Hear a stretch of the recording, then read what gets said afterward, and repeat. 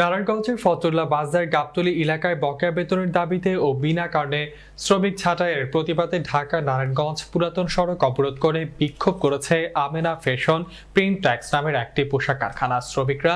শ্রমিকরা জানান, বিনা কারণের একশো চুয়াত্তর জন শ্রমিককে ছাঁটাই করেছে মালিকপক্ষ।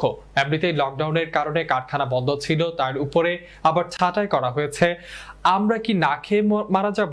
এর আগেও একাধিকবার বিক্ষোভ করেছে কারখানাটির শ্রমিকরা। সকাল থেকে শ্রমিকরা সড়কে অবস্থান নিলে পাঁচ ঘণ্টা যান চলাচল বন্ধ থাকে। এ সময় সড়কে তীব্র যানজটের সৃষ্টি হয়। পুলিশের গাড়িও আটকে দেয় শ্রমিকরা।